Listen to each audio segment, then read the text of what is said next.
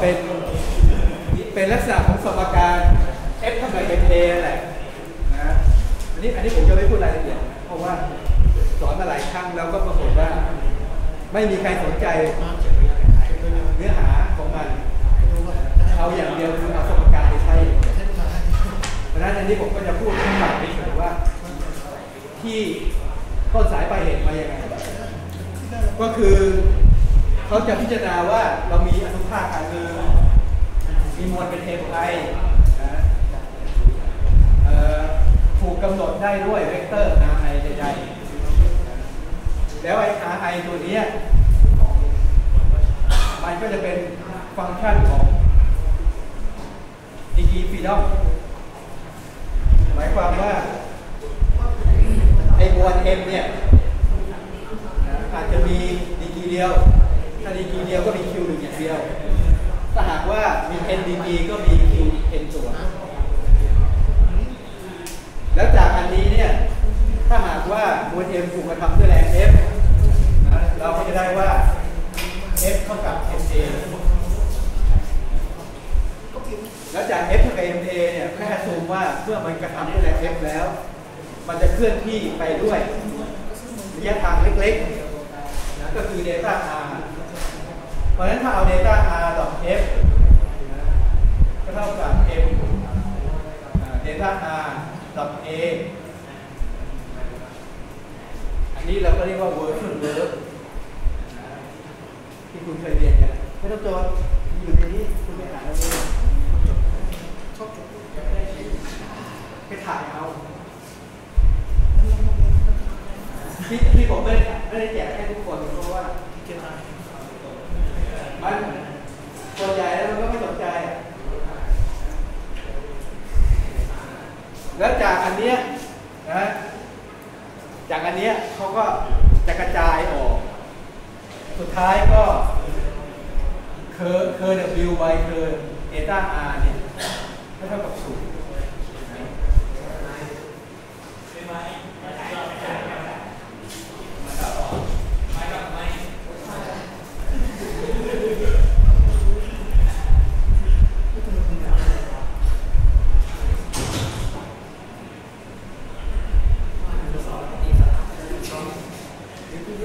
ก็คือกระบวนการเนี่ยทำแล้วปรับปรับรูปนะปรับรูปจะอยู่ในรูปของ energy ปรับรูปให้อยู่ในรูป energy แล้วก็ทำ derivative ออกมาพอทำ derivative มาแล้วก็จาก energy เทียบระยะทางก็จะกลายเป็นเป็น force ซึ่งจะทำให้ได้สมการ Lagrange equation เป็น d by dt ของ k t by k t ทองแดงเนี่ยทองแดงถูกลองเป็นไฟเบอร์เลยซื้อมา นี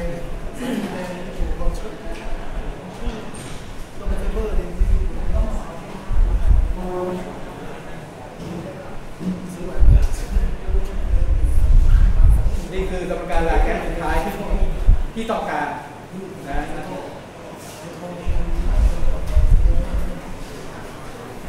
ส่วนที่มาจากตรงนี้ถึงตรงนี้อยู่ในนี้ อันนี้มาดูว่า ต่อไปเนี้ยที่ควรจะจด P นี่ก็คือ kinetic energy นะเท่ากับ1บวก2 m x ดอกกำลังสอง F เท่ากับ energy loss 1บวก2 c x ดอกกำลังเป็น damping ล้อที่เกิดจากตัวหน่วง V เท่ากับ potential energy เท่ากับ1ส่วน2 kx กำลังสองบวก mgs q เท่ากับ external force หรือว่า torque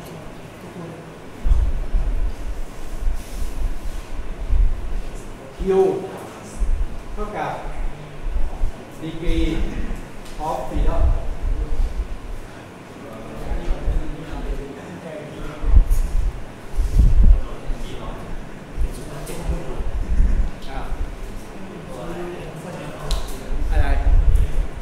เนี่ยตัว f ไม่เคยเรียน f ตัวแบบนี้เหรอ นี่ F ตัวเขียนไงไม่ต่างกันแล้วอาจารย์เออไอ้ที่ตัวพิมพ์นี่ตัวเขียนไอ้ยคุณคุณไม่เคยเรียนตัวเขียนเหรอเคยท่านตั้งแต่ชั้นประถมแล้วไอ้พวกนี้โกหกหน้าหน้าตาเฉยเลยนะตัวเขียนน่ะต้องเคยเรียนอยู่แล้ว ตัวตัว A B C D อย่างเงี้ยไม่เคยเขียนเหรอจริงอะแล้วทำไมคุณไม่เรียนที่ที่เขาสอนวะ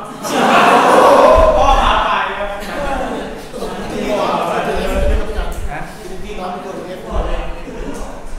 คือเราจะใช้อะไรก็ได้ แต่ว่าไอ้ในนี้ผมเขียนเขียนเป็นตัว F เข้าใจไหมคุณ จะใช้ตัว L ก็ได้ ตัว L ตัว L ตัวเขียนก็อย่างนี้ไม่เคยเรียนจริงๆเหรอเนี่ยไม่ใช่อนุบาลประถมนี่แหละนี่มันเรียนป .5 เปล่าผมเขาให้คุณข้ามชั้นมาเปล่าแบบเด็กเรียนเก่งเนี้ยให้ข้ามชั้นมาเลย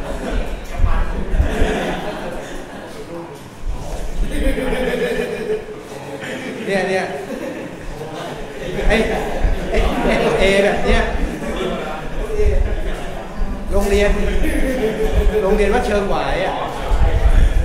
เขาสอนเขาสอนเป็นตัวเอแบบนี้เสร็จแล้วก็พอลูกผมมาเขียน ผมก็บอกไม่ใช่ต้องเขียนอย่างนี้ พอมาเขียนแบบนี้ไปส่งครูให้ผิดบอกว่าต้องเขียนอย่างนี้ ผมก็เลยไปถามเขาว่า ประเทศไหนเขียนอย่างนี้เขาบอกว่าเขาไปอบรมที่อเมริกามาเขาเขียนอย่างนี้ แล้วผมก็เลยไปถามพวกอาจารย์ที่จบจากอเมริกามาว่า ตัวเองเขียนแล้วเขียนอย่างนี้เปล่าเขาบอกไม่เขียนอย่างนี้เขาบอกไอ้นี่มันเป็นพวกกลุ่มกลุ่มหนึ่งที่เขียนเอาแบบง่ายๆอะไอ้นี่คือตัวเขียนเล็ก ตัวเขียนเล็กมันเขียนอย่างนี้ เสร็จแล้วก็พอพอเป็นตัวเขียนใหญ่มันก็ขยายให้ใหญ่ขึ้นหน่อย เขียนเหมือนกัน เออ มันบอกเป็นคนกลุ่มหนึ่งที่เขียนแบบง่ายๆ ก็เขียนแบบนี้แต่ล้วไอ้พวกนี้ไปอบรมกับไอ้คนกลุ่มนี้เข้า ก็เลยเอามาเป็นแบบอย่างว่าเนี่ยคือมาตรฐาน ผมบอกว่าไอ้อย่างเนี้ยมันใช้ทั่วโลกหรือเปล่า แล้วไอ้อย่างเนี้ยมันใช้ทั่วโลก ทุกประเทศใช้แบบนี้ แต่ไอ้เนี่ยมันใช้อยู่ในอเมริกากลุ่มเดียว แล้วเขาบอกว่าไอ้หนังสือแบบเรียน ของของที่โรงเรียนเขาเนี่ยมันใช้แบบนี้เขาเลยใช้แบบนี้ ผมก็เลยช่างมันคือถ้าไปเถียงมากเดี๋ยวลูกผมตก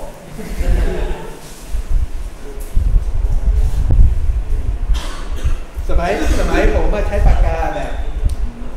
จุ่มหมึกอะไม่ได้ปากกาแถลงจุ่มหมึกแล้วแล้วมันจะมีเส้นใหญ่เส้นเล็กได้ แล้วเวลาเวลา ตรวจเนี่ยเขาจะตรวจด้วยว่า เวลาขึ้นเนี่ยเส้นต้องเล็กเวลาลงเนี่ยเส้นต้องใหญ่เนี่ยเวลาลากอะสมัยนี้ มันยังไม่ได้เรียนไปซ้ำไป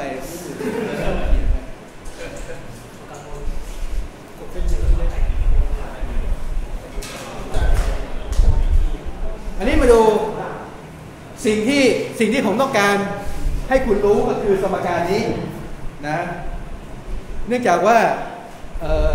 Lagrange equation เนี่ยเป็นวิธีการหาสมการการเคลื่อนที่แบบ multi degree freedom ที่ดีที่สุดก็ง่ายที่สุด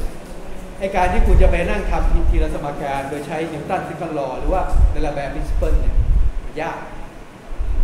มันยากยังไงเดี๋ยวผมจะยกตัวอย่างให้ดู double pendulum อั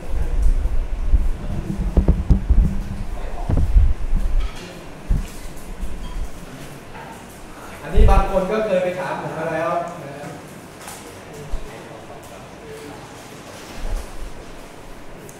double pendulum ลองดูแบบ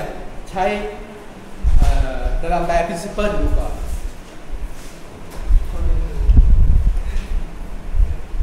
เราจะสมมุติว่ามวลก้อนที่หนึ่งเนี่ย เคลื่อนที่ไปเป็นมุมซีต้าหนึ่ง M2 ยังไม่เคลื่อนที่ นั่นก็หมายความว่า M2 มันมันไปตาม M1 เฉยๆเพราะนั้นในณตำแหน่งนี้เนี่ยณตำแหน่งนี้ M1 เนี่ยจะมีแรงลมเป็น M1 บวก M2 G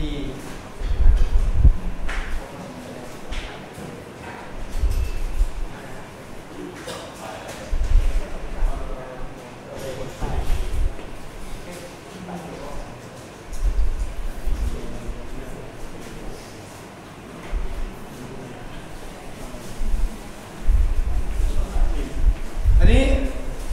มันเคลื่อน ที่ไปทางนี้ด้วยความเร่ง L1 theta 1 double dot เพราะฉะนั้น inertia มันก็ต้องสวนกลับมาเป็น แต่ว่ามวลที่ไปเนี่ยมันไปสองตัว มันก็ต้องมีมวลสองก้อน นี่คืออินเนเชียที่อยู่ที่ก้อนที่หนึ่งก้อนที่สองโอเคไหมต่อไปดูก้อนที่สอง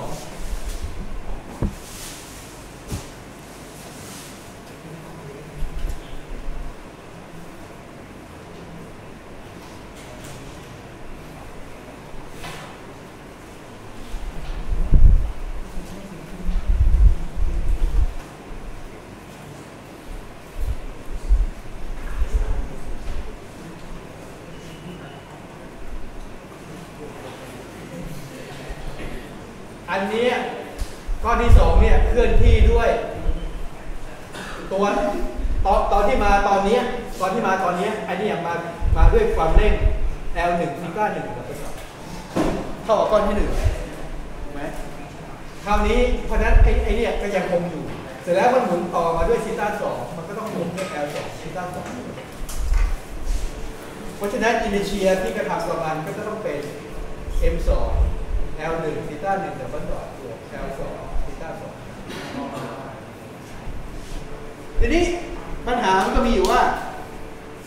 ตอนที่มันมาอย่างนี้มันก็วิ่งตาม M1 มาเฉยๆ แต่ตอนที่มันจะหมุนก็เป็นซีต้า2เนี่ย มันหมุนไปอย่างนี้ไอ้โคนมันเนี่ย โคนมันเนี่ยมันจะไปดันซีต้า1เข้าไป ด้วยแรงเดียวกับที่มันขยับมาเป็นซีต้า2 ราะฉะนั้นไอ้กงโคนมันเนี่ยมันจะต้องกดลงมาด้วย L2 เฮ้ด้วย M2 L2 ทีต้า2กับมันต่อด้วยนึกออกไหมก็คือมันอยู่อย่างนี้ใช่ไหมพอมันจะหมุนมาอย่างนี้เนี่ย ไม่ใช่ว่ามันหมุนมันหมุนไปเฉยเนื่องจากว่ามันมันมาด้วยความเร่ง เพราะฉะนั้นโคนมันเนี่ยมันจะไปกดด้วยแรงเดียวกันเพราะฉะนั้นตรงนี้เราจะต้องบวกต่อไปด้วย M2 L2 ทีต้าสองข้อที่หนึ่งตรงนี้คือปัญหา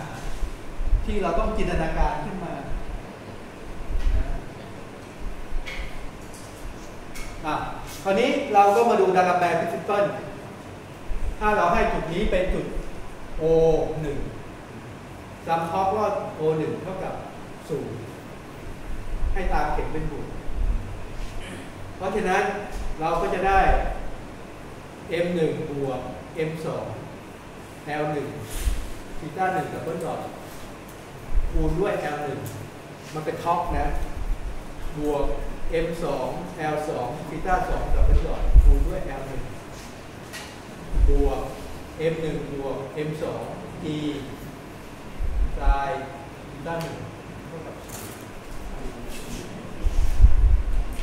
แล้วก็จากรูปสมัยนะก็จะเป็น M1 บวก M2 L1 L2 บวก M2 L1 L2 L2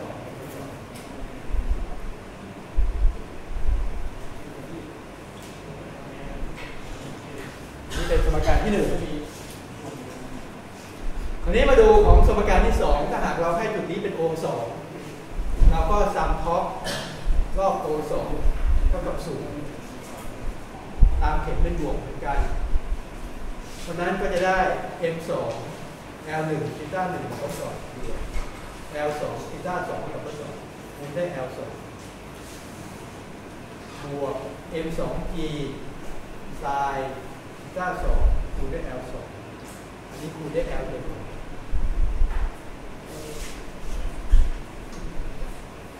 เพราะนั้นก็จะได้มาเป็น M2 L1 L2 ซิต้าง2อง M2 L2 ซิต้า2อง M2 G L ซิต้างนี่เป็นสมการที่สองจากอันนี้ 2 อันเนี่ย เอามาเขียนเป็นแมทริกซ์จะได้ M1 M2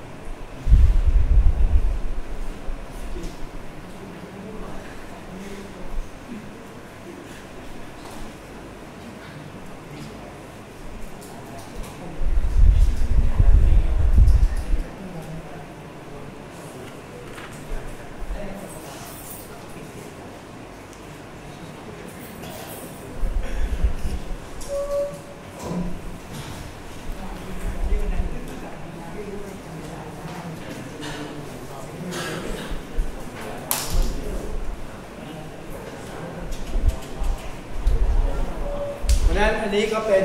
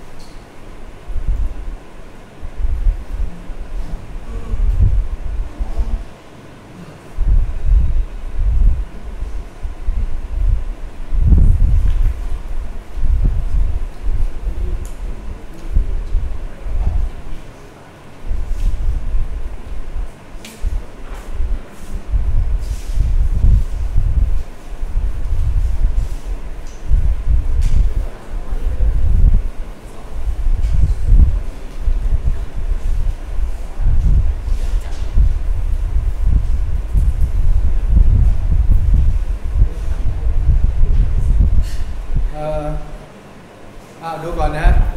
แล้วเดี๋ยวค่อยจดเรื่องเก่ายังจดไม่เสร็จ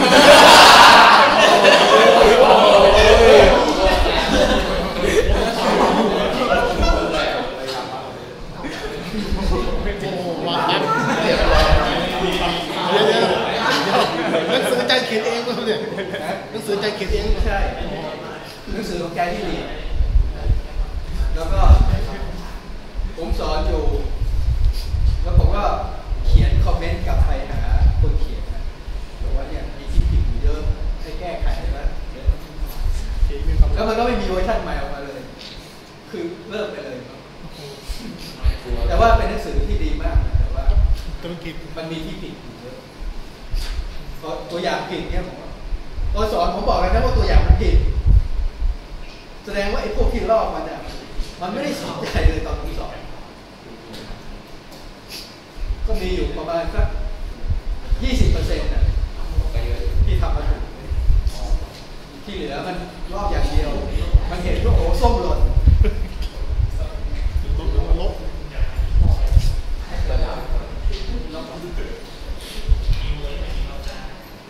อะอาจารย์ระวังว่าที่คุณเดี๋ยวผมจะเอาตัวอย่างเนี่ยดีบักออกตัวอย่างให้คุณดูอยากคืออาจารย์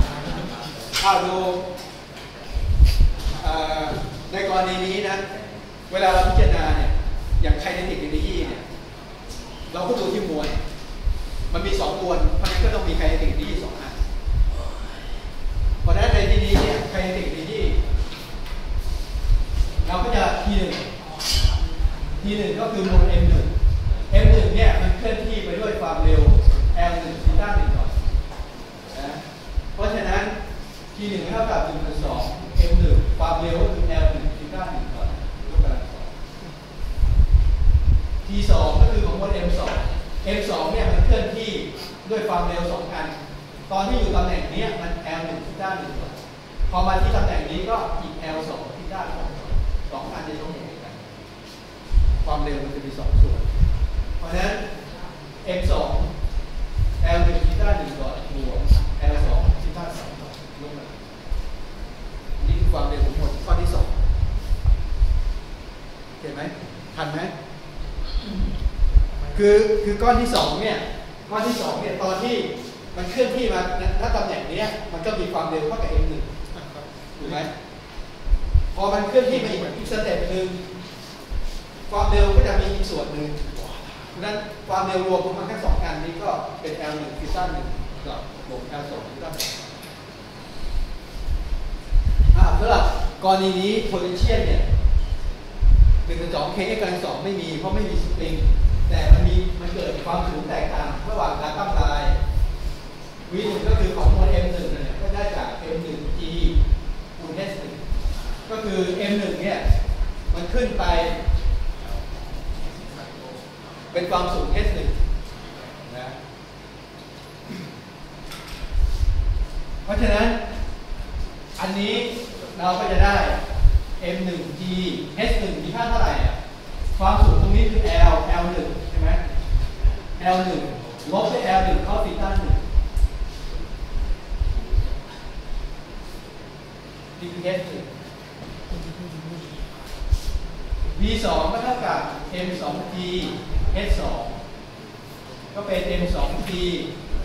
h2 ก็คือระยะนี้ที่ยกขึ้นไป มันก็จะมีค่าเท่ากับ l1 บวก l2 ลบด้วย l1 cos ซิต้า1กับลบด้วย l2 cos ซิต้า2 l1 บวก l2 ลบ l1 cos ซิต้า1ลบ l2 cos ซิต้า2นี่คือ h2 โอเคป่ะอะคราวนี้เราตั้งสมการ Lagrange equation ในกรณีนี้เราให้ Q เนี่ยเท่ากับ theta หนึ่งคือเรามี2 degree theta หนึ่ง theta สองเราให้ Q เนี่ยคือเป็น degree freedom เราให้เป็น theta หนึ่งเพราะฉะนั้นสมการทำให้เป็น d by dt ของเคอร์ t by เคอร์ซีต้าหนึ่งลบเคอร์ t by เคอร์ซีต้าหนึ่งอันนี้ไอ้ curl f ไม่มีเพราะไม่มีตัวหน่วง เราก็ไม่ต้องใส่ตัวไหนไม่มีก็ไม่ต้องใส่ก็เหลือเป็นเคอร์ v by เคอร์ซีต้าหนึ่งเท่ากับศูนย์แรงภายนอกก็ไม่มี Q ก็ไม่มี นั่นก็เป็นศูนย์อะคราวนี้เราก็มานั่งไล่ทีละตัวเคอร์ t by เคอร์ซีต้าหนึ่ง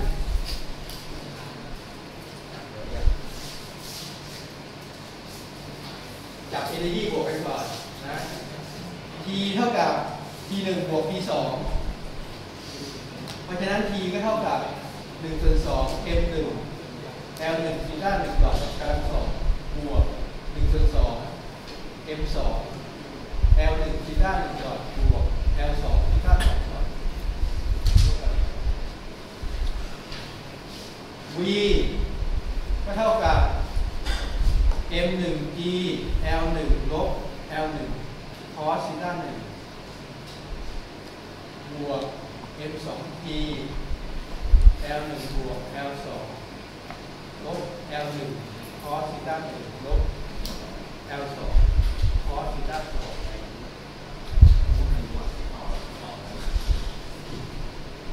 อะเรามานั่งไล่กันไปทีละตัวนะเคอร์ t by เคอร์ซีต้าหนึ่งดอทแล้วเราก็จะริบตัวนี้เทียบซีต้าหนึ่งเพราะฉะนั้น เราก็จะได้2ส่วน2 m 1 l 1ซีต้าหนึ่งดอทแล้วก็ดิฟเทียบซีต้าหนึ่งซ้ำเข้าไปอีกทีหนึ่งนะก็จะได้ l 1บวกเทอมที่สองนี่ก็คือ2ส่วน2 m 2 L 1ซีต้าหนึ่งดอทบวก L 2ซีต้าสองดอทแล้วก็ดิฟเทียบซีต้าหนึ่งเพราะนั้นก็ได้ L 1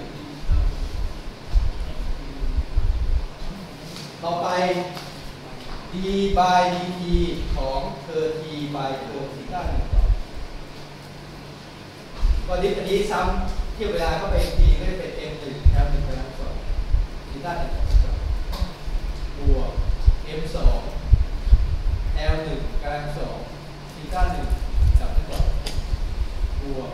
m 2 l 1 l 2ซีต้าสอง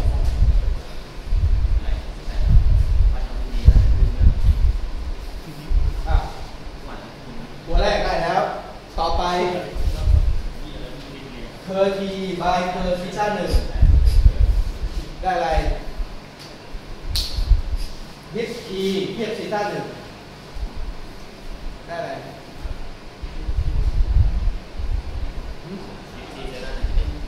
ได้อะไรไม่มี theta หนึ่งเป็นเป็นเหมือน displacement แต่ในนี้เป็นความเร็ว เห็นว่าซีต้าหนึ่งเป็นซีต้าหนึ่งก่อนเป็นความเร็ว แต่ว่านี่เรา diff เทียบ displacement แต่ในสมการนี้มีแต่ความเร็ว เพราะฉะนั้น diff เทียบ displacement ไม่มีศูนย์ diff ไปก็เป็นศูนย์ถูกไหมเอาไป curl v by curl theta หนึ่งก็ diff อันนี้เทียบ theta หนึ่งก็ได้ m 1 e ดิฟ L 1เป็นศูนย์ดิฟอันนี้ก็ได้ลบแอลหนึ่งดิฟคอสได้ลบไซน์ก็ลบจะลบเป็นบวกก็เป็นไซน์ซิต้าตัวหลักนี่ก็มีซิต้าหนึ่งอยู่เพราะฉะนั้นก็บวกงทีดิฟแอลหนึ่งแอลสองเป็นศูนย์ดิฟตัวนี้ก็จะได้แอลหนึ่งดิฟคอสได้ลบไซน์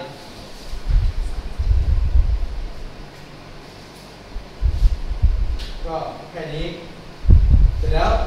เมื่อเสร็จแล้วเราก็เอาอันนี้แทนกลับไปในสมการนี้ เพราะฉะนั้นเราก็จะได้อันนี้ออกมาเป็น m หนึ่ง l หนึ่งกำลังสองบวก m หนึ่งบวก m สอง l หนึ่งกำลังสองทีด้าหนึ่งกับ บวก m2 l1 l2 ทีต้า2กับ2บวก m1 บวก m2 g l1 ทีต้า1สมการที่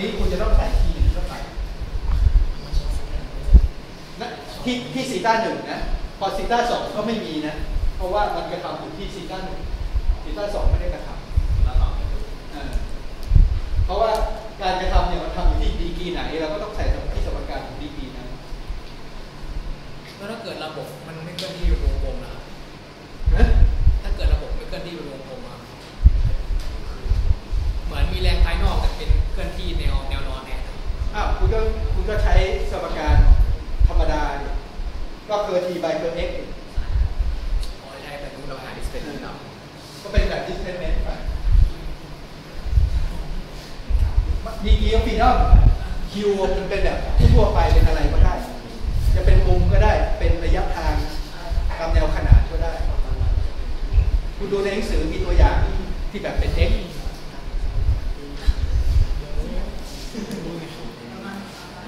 คือที่ที่ยกตัวอย่างอันนี้ให้ดูเนี่ยเพื่อให้เห็นว่าไอ้ไอ้เนี่ยทำยากแต่มันก็จะดีมันง่ายในคิวเนี่ยสามารถแปลงเป็นนี่นี่นี่นี่เป็นนิดเล่นๆก็ได้เป็นทำก็ได้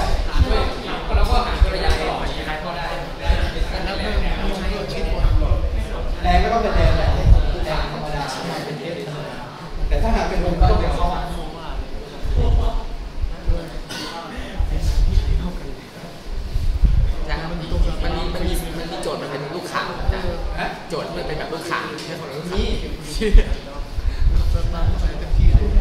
ะเอาไม่ได้เดี๋ยวผมออกออกล้อรถไฟให้สักชุดหนึ่งผมเรียนมาเทอมหนึงอะอะไรรถไฟต้องรถไฟเป็นทำไมอะผมเรียนโบกี้มาโบกี้เดียวเทอมหนึ่งโบกี้แบบที่เราใช้กันอยู่เนี่ยไอ้ไอ้ไอ้ที่ที่เป็นตู้โดยสารเนี่ยที่มันมีล้อสองชุดอะเนี่ยผมเรียนมาเทอม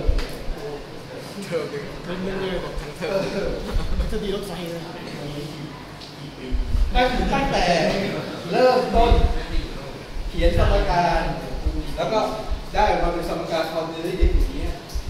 ทั้งหมด 20 สมการ คือมันมีทั้งหมด 20 ดีกรีนี่นี่ตัดตัดล้อหมุนนี้ไปแล้วนะเพราะว่ามันอยู่บนรางใช่ไหมเมื่ออยู่บนรางหมุนอย่างนี้ไม่ได้ ตัดทิ้งได้ 20 คือเดินน้องขนาดเดียวกันตอนตอนวันสุดท้ายที่ที่เรียนอะเขาเอากระดาษ A3 แบบใหญ่ขนาดโต๊ะเนี่ยมัน A สูงใช่ไหมคือสมัยก่อนเครื่องถ่ายเอกสารที่ไหนไม่ค่อยดีเขาถ่ายเขาทำเป็นพิมพ์เขียวอะถ่ายเป็นพิมพ์เขียวอะเอามาแจกเท่ากันแล้วกันยี่สิบสมการแล้วก็นั่งดูกันเป็นสมการมันไม่ได้ดีนะแล้วก็บอกว่า แก้ด้วยมือไม่ได้ ต้องไปใช้คอมพิวเตอร์จบพอแต่เรายี่สิบดียืยืนนเราเราก็ก็นั่น่างถามไม่รู้ผมเลยเด็กดีไปแล้วผมก็ยังนึกว่าสอบผ่านได้ไงวะแล้วตอนสอบผมไม่รู้ว่าสอบอะไรผ่าน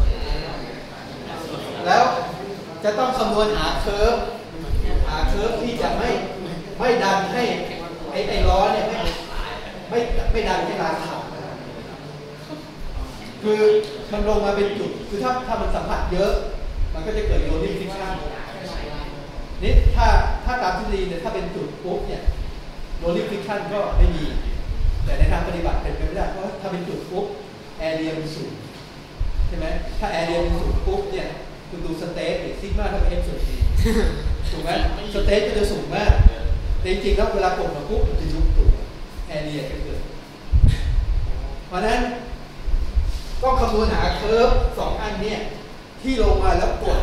แล้วมันจะไม่ดันให้หลังขาเพราะถ้าดันให้หลังขาวิ่งวิ่งไปมันจะถากออกไม่ตกมาของเขาเนี่ยมีการเกียร์รางมีรถสำหรับวิ่งเกียร์รางคุณดูบ้านเราเนี่ยไปถามการรถไฟนี่เคยเกียร์รางไหมอะตั้งแต่ติดตั้งรางมาเนี่ยมันเป็นอะไรมันตกมันประจำนะตกจริงมากตกการเมืองมาก ของการเงินงก็คือจะเอาเงินไปซ่อมของเรา ก็เหมือนทหารจะซื้อเครื่องบินก็เรื่องน้ำยังไม่มีทหารจะซื้อเครื่องบินก็เอาเครื่องบินเนี่ปนบินแล้วก็ตกบอกว่าเนี่ยมัน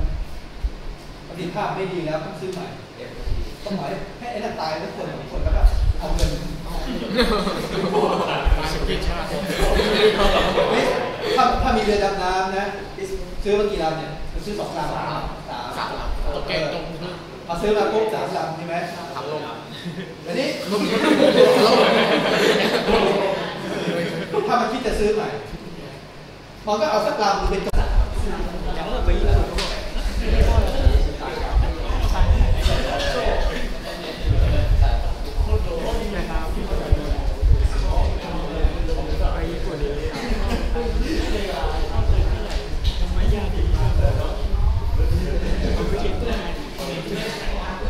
ตรงคำเก่าก็เยใช้เป็นทาการ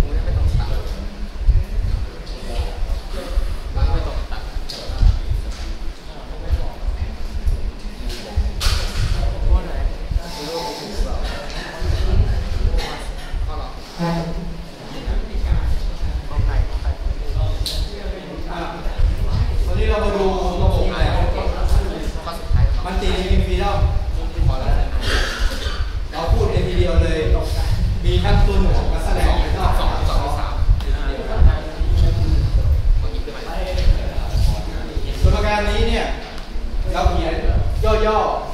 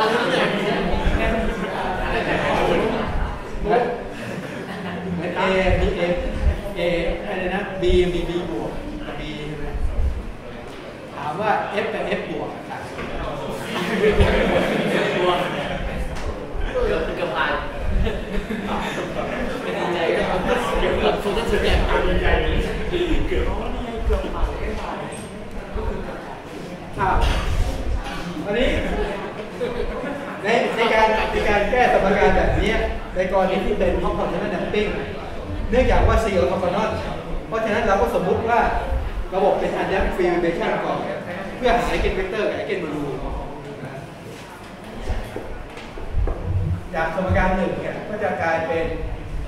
mx กับ2บวก kx เท่ากับศูนแล้วเราก็ทำแบบที่เราเคยทำมาเรื่องบทที่ที่สามในบทที่สี่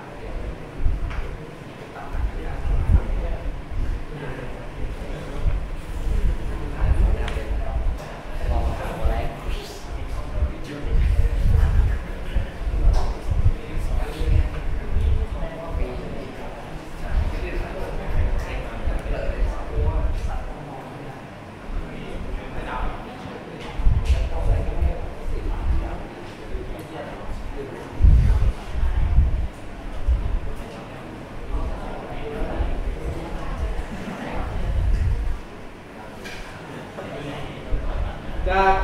คุณสมบัติเอาการเอาตรงฟานอนนะที่ r เท่ากับ s เนี่ย ตรงนี้จะกลายเป็น qr ดับเบิลดอทบวสองซิต้า r โอเมก้า r qr ดอท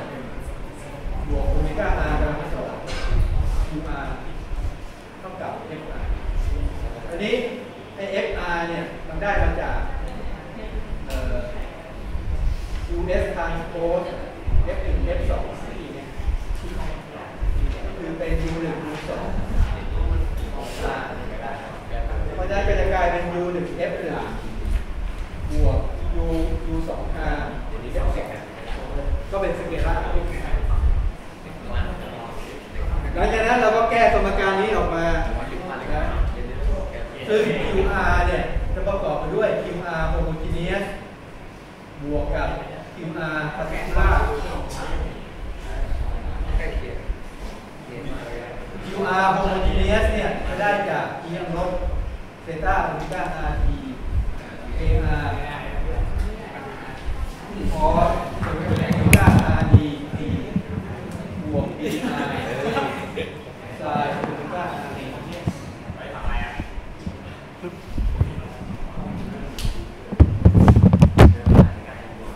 ส่วน particular solution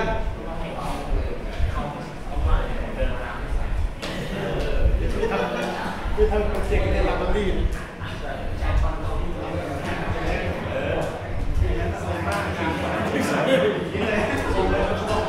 particular solution นี่ไม่แน่นอนนะ เพราะว่ามันขึ้นอยู่กับว่าแรงเนี่ยเป็นฟังก์ชันแบบไหน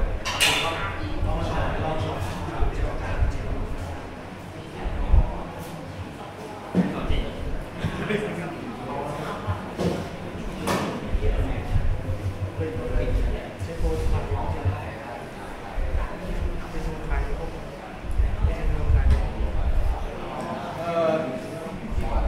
แล้วก็แทน QR ในสามไม่ได้ QR แล้วก็แทนในสาม สายถึงมอเนี่ยนะ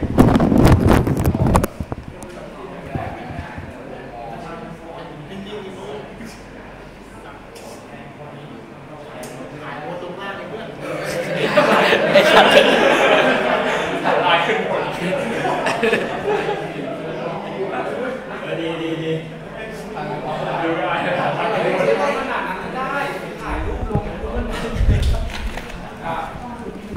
นี่ย คือทำเหมือนกับข้อสอบข้อที่หกอะแต่ว่าเพิ่มขึ้นมาหน่อยเอ่อมีตัวหน่วงเพิ่มขึ้นมาอีกหน่อยเดียวเดี๋ยวเดี๋ยวผมมาหลายใจก็เลยอ้าวหลายตัวแล้วเว้ย non proportional damping non proportional damping เนี่ยก็คือ C เนี่ยไม่เป็นปริมาตร แล้วต้องรู้นะครับสนุกไหม ทำไม เสร็จแล้วครับ เสร็จแล้ว ก็แทนนี้เช็คคอนดิชันเสร็จก็ได้ค่า AR B ก็บอกแล้วไงเหมือนตัวเหมือนข้อสอบเพียงแต่ว่ามีตัวหน่วงเพิ่มขึ้นมาเดี๋ยวไว้สอบรอบหน้า ก็จะยาวกว่าเก่าอีกหน่อยอะอันนี้ในกรณีที่เป็น non proportional damping เนี่ยนะ เราไม่เรียกว่า lay line damping ละเพราะฉะนั้น C ไม่ไม่เป็นปริภาคกับ M กับ K นะนั่นจะหมายความว่า อันนี้ไม่ออกตตัวน้อย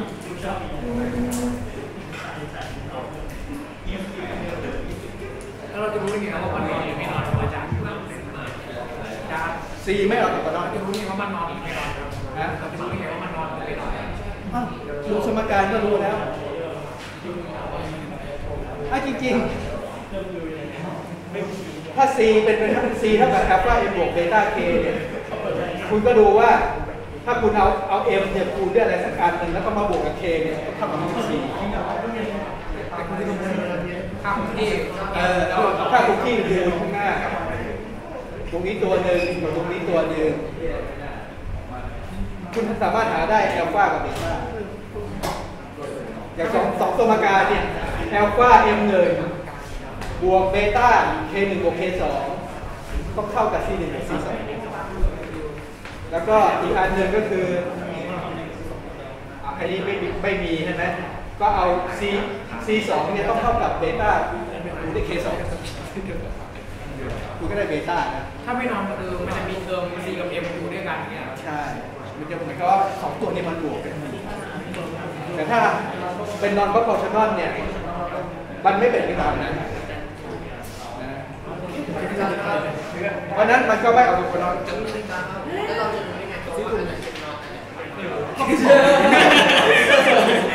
ใช้หนังซ้เพิ่งบอกอยู่เมื่อกี้เนี่ยมันไม่ฟังว่ะอ่าดู สมมุติว่า อันนี้คุณดูง่ายๆนะ สมมติผมเอาแอลฟา M1 ศูนย์ศูนย์ M2 บวกด้วยเบต้า K11 K12 K21 K22 มันจะต้องเท่ากับ C11 C หนึ่งสอง C สองสองหนึ่ง C สองสองเพราะฉะนั้นอันนี้อัลฟา M หนึ่งบวกเบต้า K หนึ่งหนึ่งเท่ากับ C นะอีกอันหนึ่งอัลฟา M สองบวก เบต้า K สองสองต้องเท่ากับ C สองสองหรือเบต้า K หนึ่งสองต้องเท่ากับ C หนึ่งสองอะไรเงี้ยมันอันนี้อย่างสมการนี้คุณหาเบต้าได้แล้วใช่ไหมถ้าเบต้าแทนเข้าไปในสมการนี้คุณหาอัลฟาได้ เพราะฉะนั้นถ้าคุณเอาอัลฟากับเบต้าแทนในสมการนี้ แล้วมันเป็นจริงไหม ถ้ามันเป็นจริงก็แสดงว่า มันออกสมการเอ้ยเป็น เป็นพอพอชนอลแต่ถ้าหากว่าคุณได้อัลฟาเบต้ามาแล้วจากของสมการนี้แทนไปในสมการนี้มันไม่เป็นจริง ก็แสดงว่าเป็น non-proportionalใช่ป่ะคือขั้นขั้นแรกหาอัลฟาเบต้าให้ได้ก่อนแล้วก็ลองอัลฟาเอาอัลฟาแทนเข้าไปเบต้าแทนเข้าไปแล้วจับบวกกันได้เท่ากับ C ไหมทุกทุก element ต้องเท่ากัน ทุกตำแหน่ง ถ้าหากว่าเท่า ก็แสดงว่าเป็น proportional แต่ถ้าไม่เท่าก็แสดงว่าเป็นเงื่อนไขซึ่งเงื่อนไขนี้ยากมาก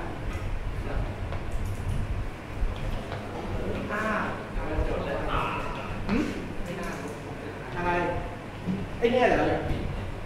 อุ้ย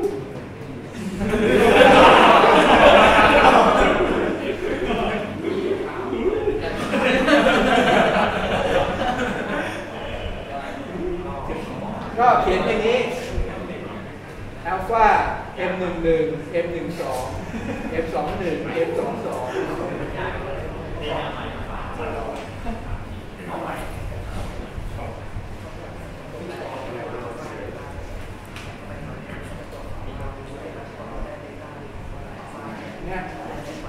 แล้วคุณก็เอามาทีละสมการน่ะอัลฟา m 1 1 บวกเบต้า k 1 1 ก็เท่ากับ c 1 1 อัลฟา m 1 2 บวกเบต้า k 1 k 1 2ต้องเท่ากับ c 1 2 อะไรเงี้ยแค่แค่สองสมการสองอนุก็ต้องได้แล้วแล้วพอได้อัลฟาเบต้าแล้วแทนกลับเข้าไปคูณออกมาทั้งอันเลยจับบวกกันเท่าสองข้างเท่ากันถ้าถ้ามันเท่าก็แสดงว่าเป็นห้อมัน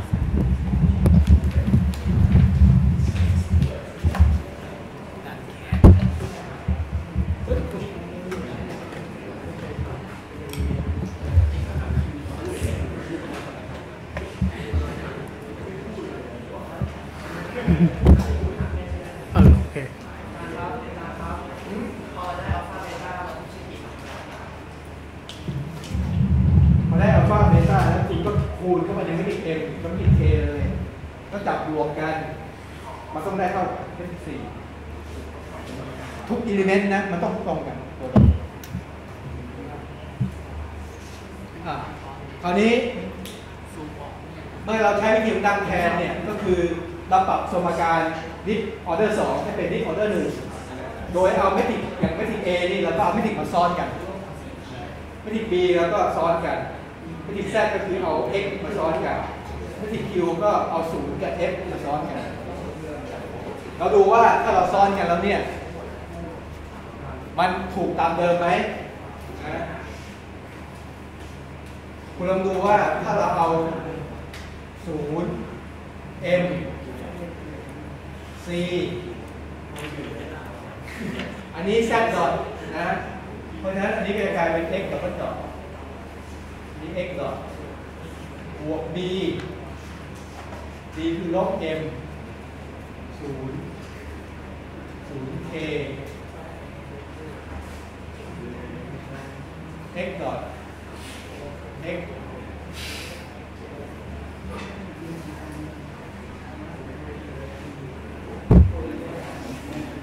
เราดูว่าเราคูณออกมา เพราะฉะนั้นคุณจะได้ว่า 0 x ดับเบิลดอท บวก m x ดอทลบ m x ดอทบวก0 x เท่ากับ0เพราะฉะนั้นคุณจะเห็นว่าเทอมนี้กับเทอมนี้ลบกันหายไป0เท่ากับ0นะสมการข้างบนเนี่ยคือศูนย์ศูนย์เท่ากับศูนย์อันนี้มาดูสมการด้านล่างคุณจะได้เป็น mx double dot บวก c x dot บวกศูนย์ x dot บวก k x เท่ากับ x ซึ่งอันนี้ก็คือสมการที่หนึ่งนั่นเอง เป็นสมการเดิมเพราะฉะนั้นถึงเราจะมาเขียนแบบใหม่ มันก็ยังเป็นสมการเดิม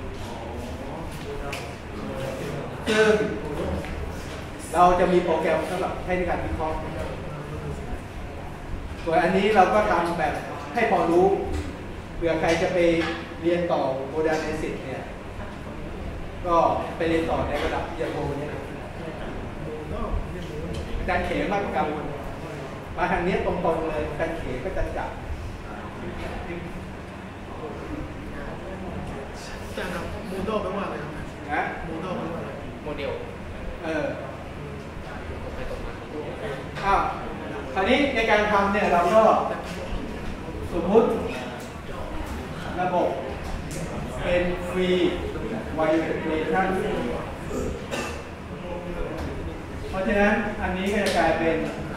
a z ต่อบวก b z เท่ากับศูนย์แล้วให้แทรกเท่ากับ x ใกล้จะสมการมียกกำลังแลมได้มีการใช้ อันนี้ทำไมต้องให้เป็นยกกำลังแลมได้ทีในเมื่อเราเราจะทำ eigenproblem เพราะว่าอันนี้มันแทรกต่อเป็นแทรกถ้าคุณใช้ใช้แบบเดิมอะก็คือเป็น cos เป็นไซน์อะถ้าให้เป็นไซน์ปุ๊บที่อันนี้จะกลายเป็น cos แต่อันนี่ยังคงเป็นไซน์อยู่มันตัดกันไม่ได้ถูกไหมเพราะนั้นแต่ถ้า e ยกกำลัง lambda เนี่ยมันมันตัดได้ เพราะว่า z dot มันก็เท่ากับ lambda x e ยกกำลังแลมด้า t ตัวกลับเสร็จแล้วก็ ทำให้เป็นไอเกนโปรเบม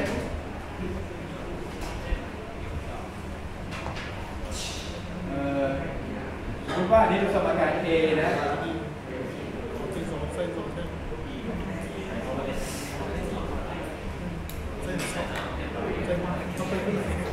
ทำไมยังวนอยู่เนี่ย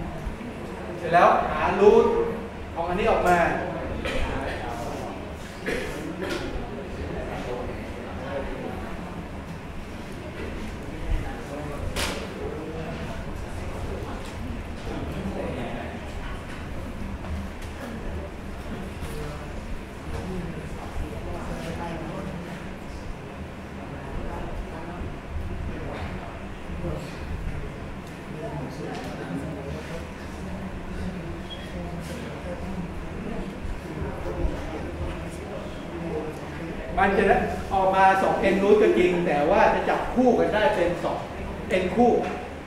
เพราะว่าตัวที่1กับตัวที่2จะเป็น conjugate กัน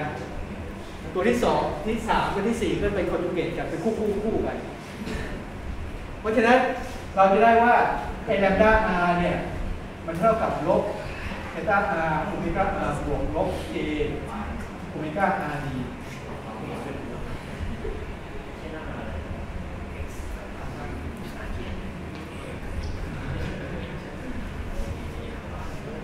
จะได้เป็นแบบนี้ ส่วนไอเกนเวกเตอร์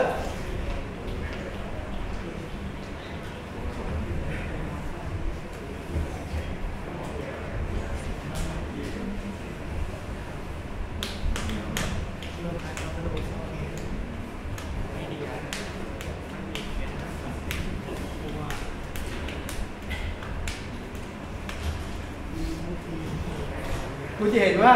lambda r เนี่ยมันเป็น complex เพราะนั้นเมื่อแทนไปในสมการนี้ hr ก็เป็น complex ด้วย เมื่อ hr เป็นคอมเพล็กซ์ ar ก็ต้องเป็นคอมเพล็กซ์ที่บอกว่ามันยากก็คือตรงนี้ คุณจะต้องแก้สมการที่เป็น complex ก็ในเมื่อมันยากผมก็ทำให้มันง่ายขึ้นนะโดยการผมเขียนโปรแกรมไว้ให้แล้วให้คุณดิมโลเก็บเก็บซีใช่ไหมครับตอนสอบ เอาโน้ตบุ๊กเข้าได้ไหมครับอาจารย์ได้ แต่ไม่ให้ใช้เอาไว้ข้างๆห้องโปรแกรมนะอยู่หน้า 327 ชื่อโปรแกรมแดมตัวนี้อันนี้เขียนด้วยภาษา C นะผมเขียนเป็น C พัดๆไว้นะตัวนี้ว่า อันนี้มันมีเงื่อนไขว่าโปรแกรมโปรแกรมนี้ มันใช้ได้กับแมทริกก็คือแมทริก M M M C K อะไรเนี่ยห้า degree freedom สูงสุด ได้5 degree freedom สูงสุดในโปรแกรมนี้ เพราะว่าจากอันนี้เนี่ยพอมันเป็น A B แล้วเนี่ยมันจะกลายเป็น 10คูณ10แมทริกจะเป็น 10คูณ10ทีนี้ ไอไอไอโปรไอโปรแกรมนี้มันคำนวณคำนวณเน็ตของตัวนี้นะเน็ตเท่ากับศูนย์เนี่ยมันใช้วิธี permutation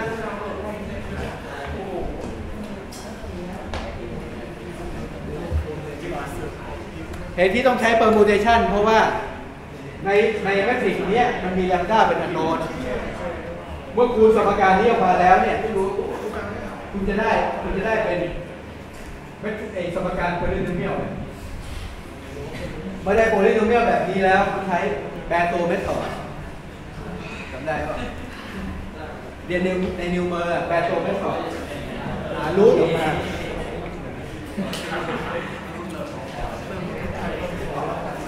ก็ในในโปรแกรมนี้คุณใส่แค่เมทริก MCK เข้าไปเฉยๆ เออ MCK เสร็จ Enter ปุ๊บ ก็ออกมาเป็นเสร็จ เป็นไอเกนวาลูไอเกนเวกเตอร์พร้อมไปเครื่องแฮงเลยถ้าเครื่องแฮงก์อะคุณเขียนโปรแกรมผิดใช้ใช้ใช้อารีสกีไรับเนี่ยฮะใช้อารีแล้วเป็นอ่าใช่ใช้ผมใช้ไดนามิกอะไรไดนามิกอะไรก็ใช้นิว อันโลเคตรู้จักอันโลเคต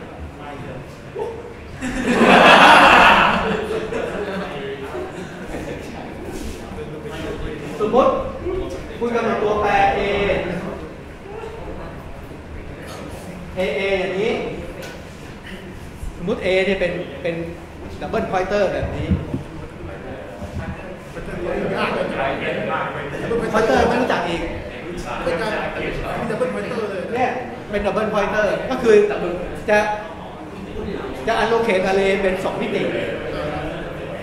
ก็ทำได้สองแบบ ถ้า C++ เนี่ย คุณบอกว่า A เนี่ยเท่ากับ new float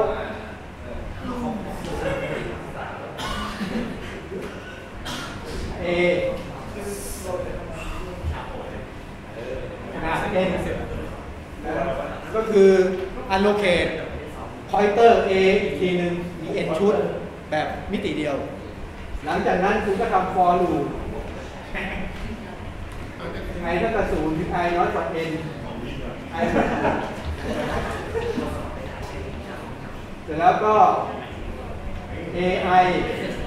เท่ากับ new cos n เนี่ย มันก็เทียบเท่ากับว่า โค้ด A A เป็นแบบนี้ เหมือนกัน แบบแบบนี้เราเรียกว่า static array แบบนี้เราเรียกว่า dynamic อันนี้ dynamic มันดีตรงที่ว่าคุณจะปรับขนาดมันได้ ตามใจชอบ แต่ถ้า static คุณมีแคร์แล้วต้องส่งนี่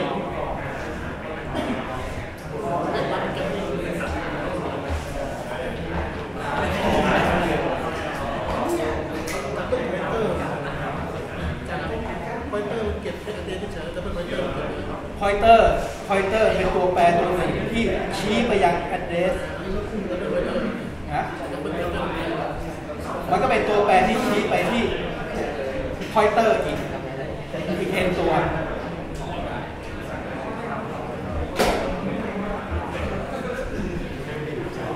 คือสมัยก่อนเป็นภาษา C เนี่ยไอ้กงนิวเนี่ยใช้คำว่า unlocate unlock คือล็อกใช้ ฟังก์ชัน unlock แต่พอมาเป็น C พัดพัดเราใช้ควา new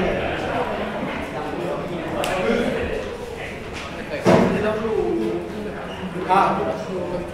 อันนี้ ในกรณีที่เป็นเป็นแบบ proportional damping นะก็มีโปรแกรมให้เหมือนกัน ก็คือโปรแกรมที่ชื่อ Jacobi นะฮะ มี Jacobi S กับ Jacobi G สองอันให้ใช้ ก็หมายความคุณป้อนไม่ถิก M ไม่ถิก C ไม่ถิก K เข้าไปมันเข้ากับตัว eigenvector eigenvalue เข้ามาแต่ว่า เอาคอมพิวเตอร์เข้าไม่ได้แล้วคิดมือ ออกอยู่แล้วอะนิวเมอร์นิวเมอร์นิวเมอริคอนแบบไอเกนเวกเตอร์ไอเกนมารูต้องออก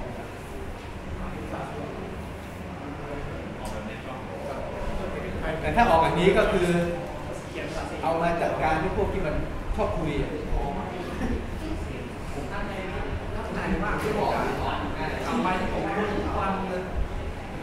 เนี่ยวันวันนี้มันรู้ว่าไม่ไม่มีให้ทำแบบอะไม่เข้าไป อยู่แล้วจดชื่อนี่คนที่ไม่เข้าอะจดชื่อคนที่ไม่เข้าไหมผมชื่อจางสินค้ามันเข้าไปเยอะนะสินค้ามันเข้าไปเยอะ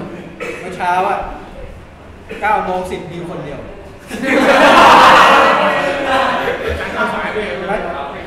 คือผม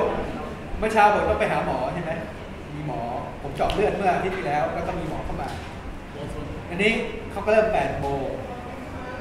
ผมก็กลัวว่าอาจจะไม่ทัน ผมเจอใครรู้คนหนึ่งผมบอกเอ้ยขึ้นไปบอกด้วยว่า อย่าเพิ่งสลายตัว ผมอาจจะเข้าสายหน่อย แต่ถ้าผมเข้าเกิน9โมงครึ่งแล้วก็สลายตัวได้ มันส่งทางไลน์เลยคุณมี LINE group เป็นใช่ไหม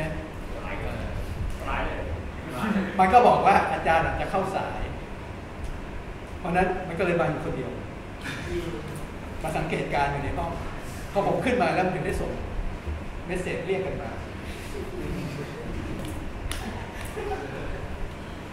มันไม่ยอมขึ้นมานั่งรอบนห้อง มันรออยู่ที่อื่นฮะถึงไม่มา จะได้ไม่ต้องเสียเวลาสลายตัว สลายแต่แรกเลยแหละ เนี่ยแสดงว่าการศึกษาเราเนี่ย 40 กว่าปีที่แล้ว กับปัจจุบันเนี่ย ไม่พัฒนา สมัยรุ่นผมก็อย่างนี้อา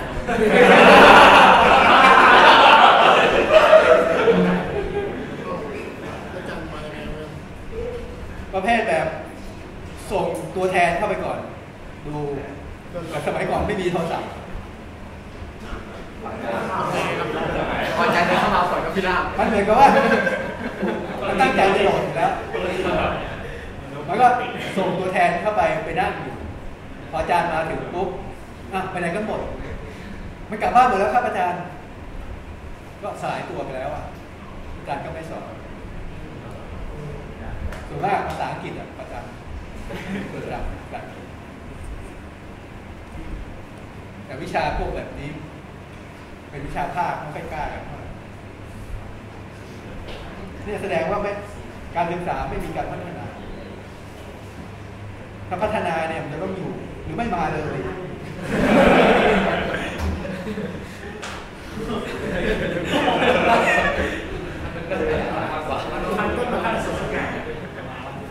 เอาละไว้แค่นี้จบส่วนที่ห้า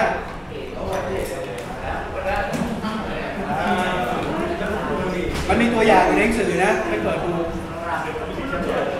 ไหลภาษาไทย